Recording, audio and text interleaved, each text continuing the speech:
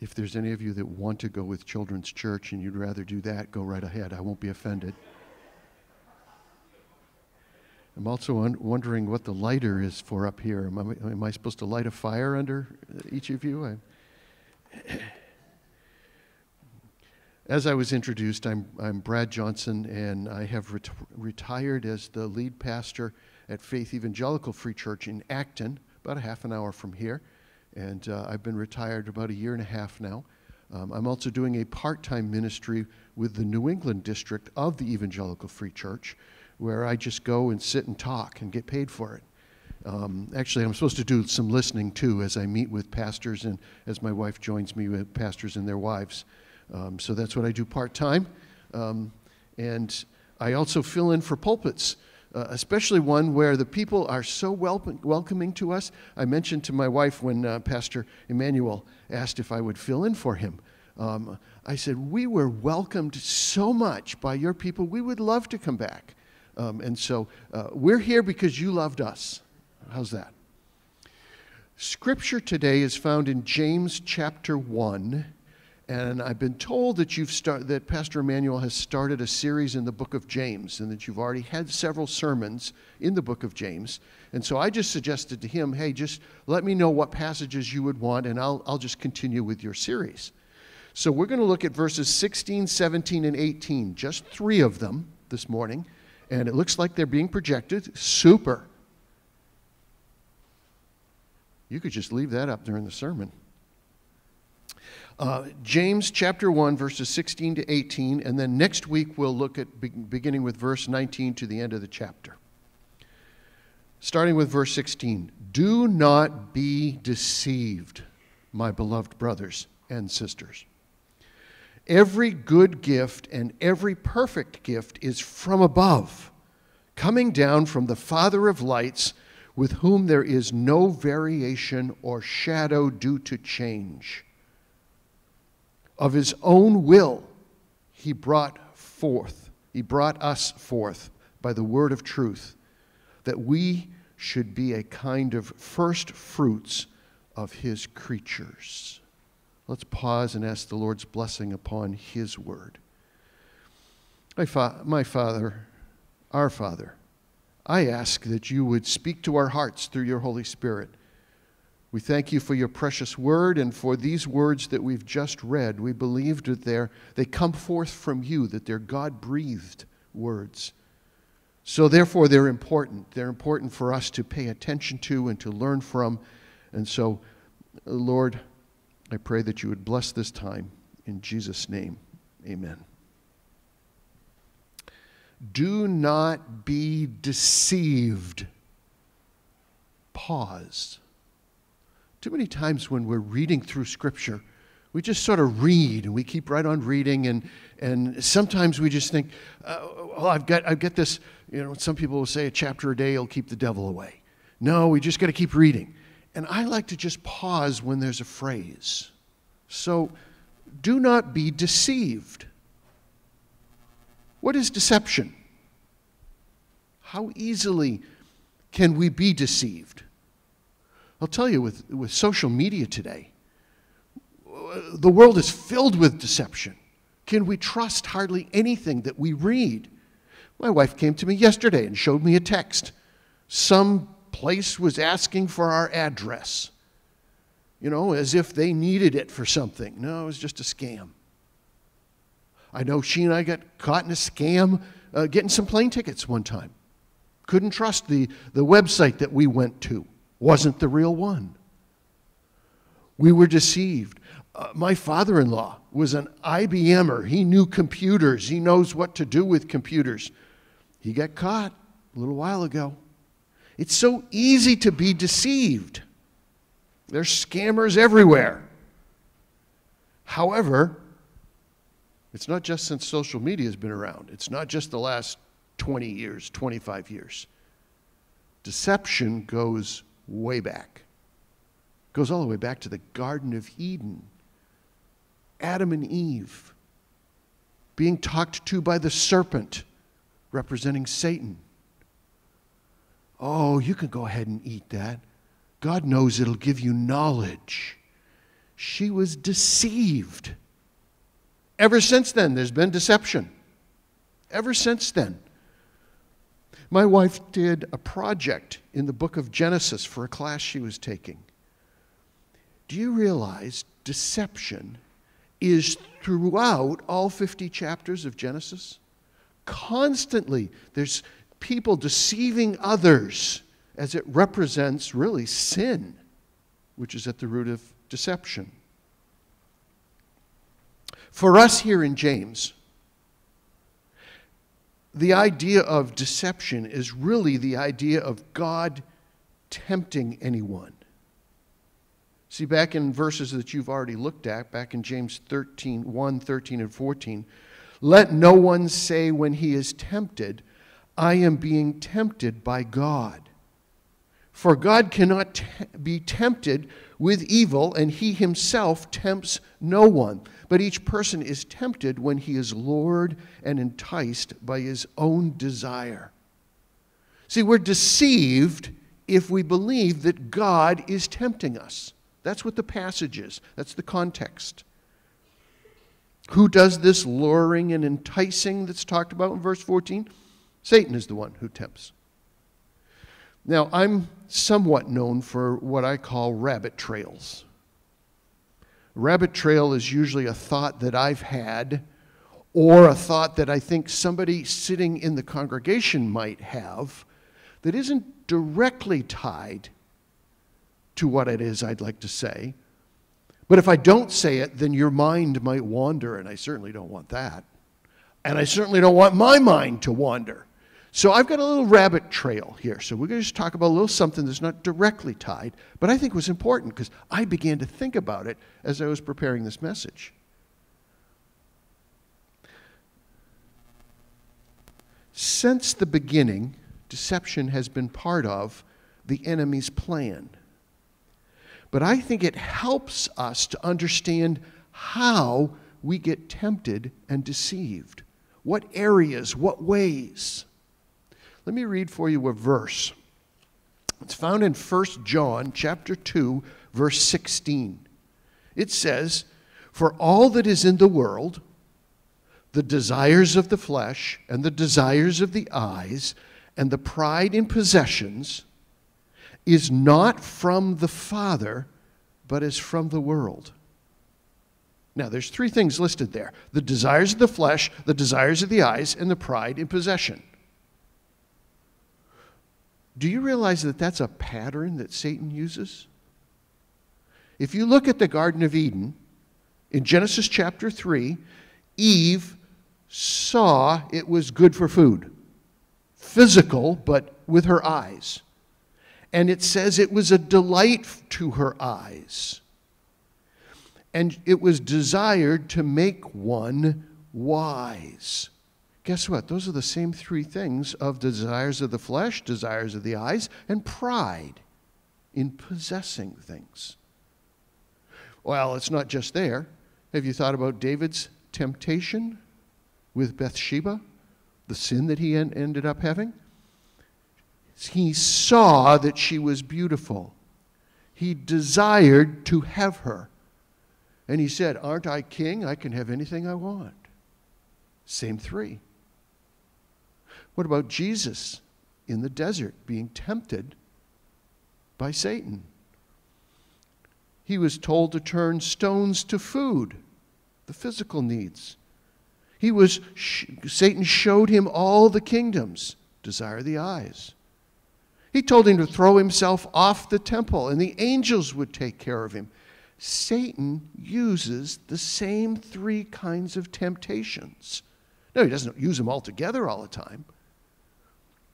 But I think that's good for us to be thinking and to, to realize if I'm being tempted with something physical, if I'm being tempted by looking at something, if I'm being tempted by my pride, those are all ways that Satan deceives.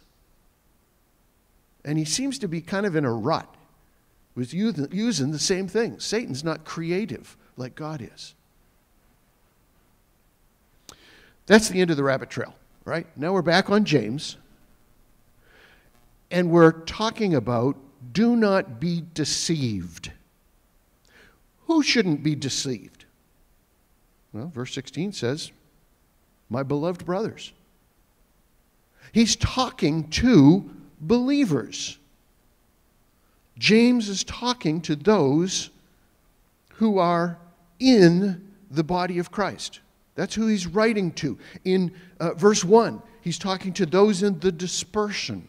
Those are the ones that were in Jerusalem, and because of persecution, they escaped and they were dispersed all over that region of the world. And that's who James is writing to the Christians who had left Jerusalem, the dispersion. And it says right there in verse 2, he's writing to help my brothers. He's talking to them about the trials that they face, trials that are testing of our faith in verse 3. And certainly our faith is put to the test in this present culture. And in verse 12, it says we are to remain steadfast under trials. We must stay faithful like Jesus did. But he says, as we've read, when tempted, it's not God. And verse 16, which is one of our verses for today, in essence is saying, don't be deceived into thinking that God is the author of temptation. Now, you might right away just say, I don't, I don't think God does that. There's a lot of ways that we act and live as believers that really show that we're succumbing to deception. We're succumbing to the temptations. And we think that God has done it. When's the last time you said, well, why did, did that happen? That's actually a questioning of God. That's actually allowing yourself to be deceived into thinking, oh, well, God did that terrible thing. Sometimes we think we're beyond being tempted. We're beyond being deceived. Well, the problem is the construction of this verse, if you look in the original language, it actually has the idea of stop being deceived, like they were being deceived. And James is writing to them and saying, listen, you're being deceived, stop. See, so believers could be deceived. They were already being deceived. Sometimes we see areas of temptation but sometimes we think more highly of ourselves and we think, well, I'm a pretty good Christian. God's kind of lucky to have me. Romans 12:3 says, "For by the grace given to me I say to everyone among you not to think of himself more highly than he ought to think, but to think with sober judgment, each according to the measure of faith that God has assigned." So we're to be trusting God and to not think more highly of ourselves. I'll tell you, I may be a pastor, but I'm just as deceived as other people in some areas. And I'm just, I'm a sinner saved by grace through Jesus Christ, just like any one of you. And yeah, you ought to have a certain respect for your pastor, but just realize He's a sinner just like you are. So he's going to say some things wrong or do some things wrong. If Jesus could be tempted, certainly we can. And we need to be aware of how and what ways that we can be tempted and deceived as Christians. Now, here are some general areas. If the Bible says one thing and the culture says another, what do you believe? Well, most of us say, oh, I would believe the Bible. But in our culture, I, I keep meeting all kinds of Christians who take the cultural view of sexuality and all that that includes, as opposed to what the Bible teaches that God established male and female, and how that relates to what is marriage to God. Or are we being deceived into thinking, oh, well, That's just the old way of thinking, and the Bible really was written for that era, and we should change it and believe what the culture is saying. That's deception. I think the same thing about creation and evolution. I think we're deceived into saying, oh, the world must be billions of years old. Well, those are people saying that who've already made the assumption there is no God. So if there's no God, then they have to come up with a theory of evolution. And I hope you realize it is a theory. And oh, the, the newest one is the Big Bang Theory. Well, where'd all the stuff come from that supposedly was in the Big Bang? See, now you still got to answer this question of where did everything come from? Are you deceived about creation and evolution? Are you deceived about the truth of Christianity? I know a pastor of a church who says Jesus is only one of the many ways you can get to heaven. And he actually says it's like having a stained glass window and the light of the sun coming through the many different glasses, and each of those different ways are ways that you could go to get to God. I asked him one time, So, what does that make God the Father? God the Father sent his Son to be sacrificed. If there's another way to get to heaven, why in the world would God the Father sacrifice his Son? So, are we deceived? Uh, are there different ways that we can be saved? As believers, don't be deceived. Do not be deceived. We can also learn from these verses that we can be deceived by our possessions. Every good gift and every perfect gift is from above, coming down from the Father of lights, with whom there is no variation or shadow of, due to change. The idea here is that God is the giver of good. It rules out that he could tempt anybody. How many gifts does he say here are given from God? Every good gift, every perfect gift. Nothing but good comes from God. God's gifts are kindness and helpfulness. Does anyone else give good? Well, if I think of growing up, my parents gave me lots of good presents. I remember one time I was very disappointed. I asked for a particular thing, and they sort of misunderstood, and they gave me this tiny little radio that I could plug something into, and it was not what I had thought about at all, and I was so disappointed. But certainly, I've received many good gifts. Matthew 7, verses 9 to 11 says, Which one of you, if his son asks him for bread, will give him a stone? Or if he asks for a fish, will give him a serpent? If you then, who are evil, know how to give good gifts to your children, how much more will your Father who is in heaven give good things to those who ask him? Now, here's my question. At the root of all things, where does everything come from? What do you have that you deserve? And is that a deception? You know, the advertisements today are filled with, you deserve this. You know, uh, go to this bank, you, you deserve a loan. You deserve this special car. You deserve good health. Uh, they use this word with deserve with all of these things that ultimately are want. Not even need, but want.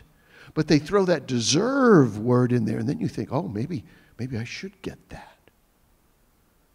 We're deceived. Who gives happiness? I remember with our kids, we always used to say, that's not fair. Yeah, you're right. Life isn't fair. See, we're deceived into thinking we are owed all of these things. What do we have that isn't from God? See, even when I say that my parents gave me some good gifts, how did they give me good gifts? Well, they taught them how to, you know, to work and they earned money and all the things that were supplied to them ultimately came from God because apart from God there is nothing. Oh, yeah, we need to work hard, but even a work ethic, where does that come from? Is that just because that's what I learned? Or is that what God has been teaching me? See, ultimately, we could follow everything back to that God is the giver of every good and every perfect gift. It's from above.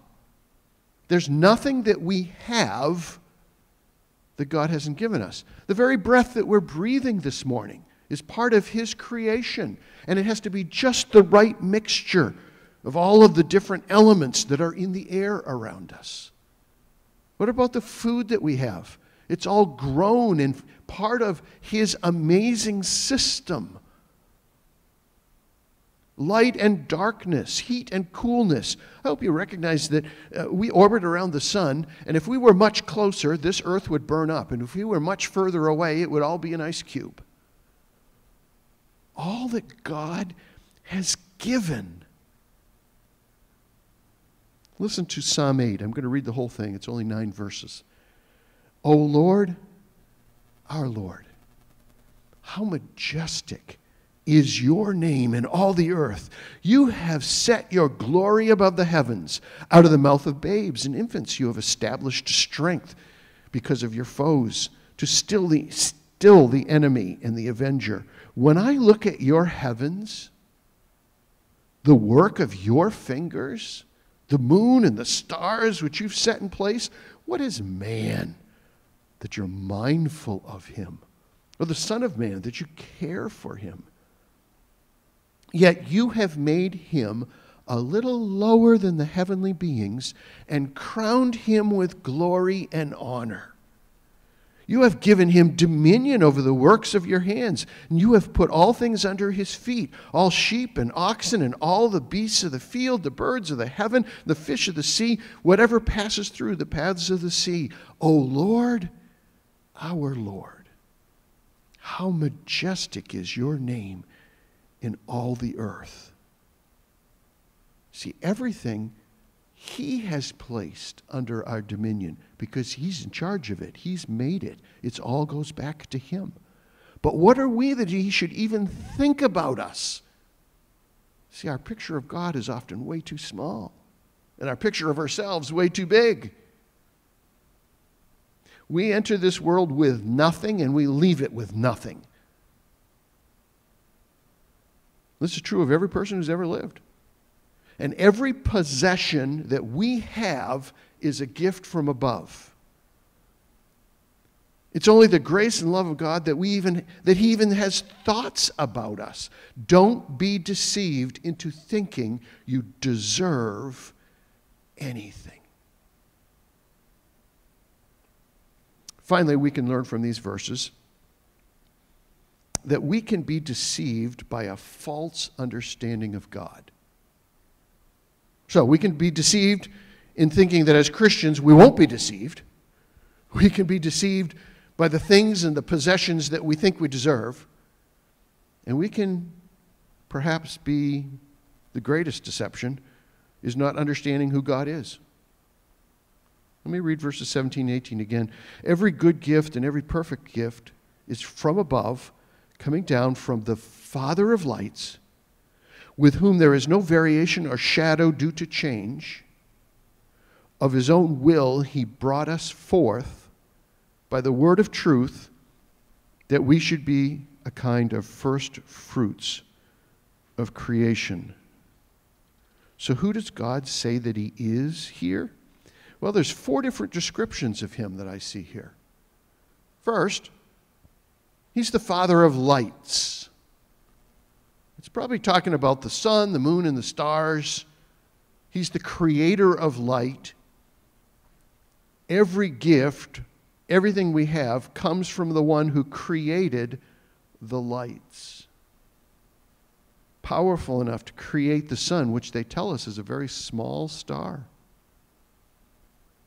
In fact, in Genesis, if you read the creation story, after each day he said, and it was good, and it was good, and it was good. And after he created Adam and Eve, it was very good. So everything that he's made is good. Who is God? He's the Father of lights. The Father of lights with whom there is no variation or shadow due to change. Now, here the writer of James is taking that idea of the Father of lights, and he's taking that, those lights and he's saying, I'm going to give you an illustration to show you that God doesn't change. All the lights change, don't they? We just uh, a couple days ago had the longest day of the year, and it's already getting shorter. Maybe we haven't noticed it yet, but certainly by December, when we get the shortest day of the year, we don't get very much light. They say January and February are the biggest months of depression because we have so little light. You can go up north. We, we spent some time in Alaska, and we were there uh, during the summer, and the sun never sets. You can see it on the edge of the horizon at one or two in the morning. See, so light varies. And in fact, at noontime, when the sun is directly over you, you don't have much of a shadow, do you? But at the end of the day, your shadow can be 20, 25 feet, 30 feet long, depending on how low the sun is. So the lights are constantly changing. During the day, it's bright. During the night, the sun is reflecting on the moon. We have the stars. Light is changing. But with God, there's no variation or shadow due to change because God doesn't change. God is without shadows. God is without variation. We change. You like somebody, they're a good friend. Then they do something that you think, how could they do that to me? Now you don't like them as much. We change, don't we? Do you realize God never changes in his attitude, towards you? His love is constant. He doesn't like it when we sin. He wants to offer us forgiveness. In your service this morning, you had a time of confession. Do you realize all of you became totally cleansed at that moment? That's because of what Jesus did for us. That's where forgiveness comes from. But God doesn't change in his attitude towards us. He's constantly loving us, giving us good things.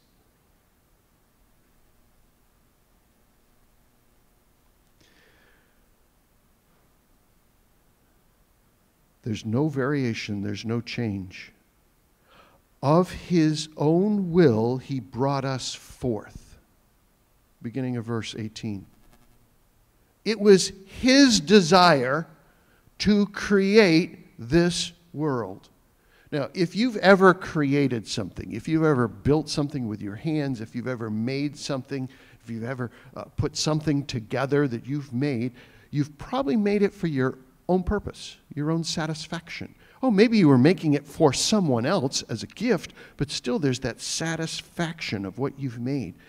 We were made purely by the will of God. Of his own will, he brought us forth. Is this an area of deception? We think I can do anything I want.